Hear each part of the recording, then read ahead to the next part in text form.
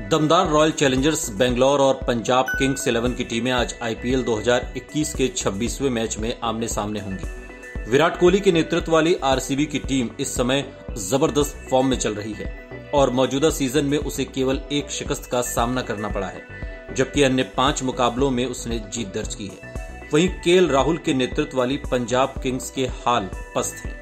अच्छी टीम होने के बावजूद पंजाब जीत की राह खोजने में जुटी हुई है। और अब तक छह में से केवल दो मुकाबले जीत सकी है।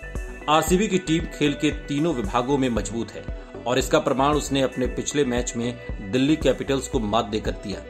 वहीं पंजाब किंग्स को अपने बल्लेबाजों से दमदार प्रदर्शन की उम्मीद है, जो लगातार निराश करते आ रहे हैं। आरसीबी ने मौजूदा सीज़न में शानदार प्रदर्शन करते हुए छह में से पाँच मुकाबले जीते और अंक तालिका में दूसरे स्थान पर है।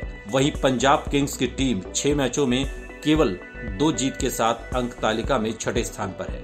अहमदाबाद की पिच पर स्पिनर्स ने अच्छा प्रदर्शन किया है। ऐसे में पंजाब की टीम में कई बदलाव देखने को मिल सकते हैं, क्योंकि उसके गेंदबाजों ने अच्छा प्रदर्शन किया है।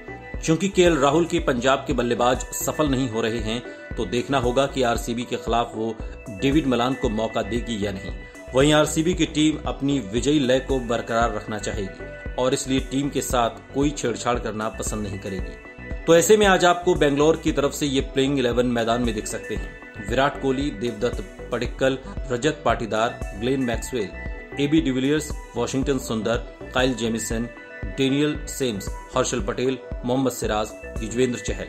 वहीं पंजाब की ओर से आपको ये प्लेइंग इलेवन खेलते देख सकते हैं। K Rahul, Mayank Agarwal, Chris Gayle, Nicholas Pooran, Deepak Hooda, Shahrukh Khan, Moises Henriques, Chris Jordan, Ravi Bishnoi, Mohammed Shami, Arshdeep Singh. इस वीडियो पर आपकी क्या प्रतिक्रिया है, कमेंट बॉक्स में हमें ज़रूर बताइएगा।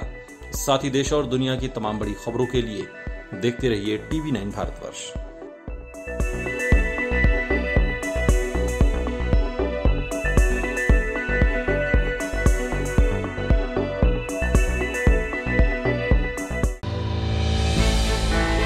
हमने की गलती फिर एक बार। कोरोना ने किया दोबारा प्रहार। मास्क, दो गज दूरी। करें अपनी सुरक्षा खुद।